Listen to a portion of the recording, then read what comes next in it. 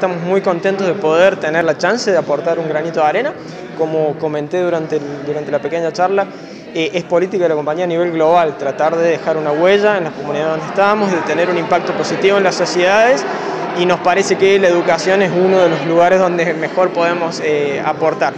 Como sabemos, el contexto de pandemia está poniendo complicaciones a la, a la formación de nuestros alumnos, de manera que nos pareció que esto era una contribución saludable para ayudar a estos chicos que están cursando la secundaria a terminar sus estudios.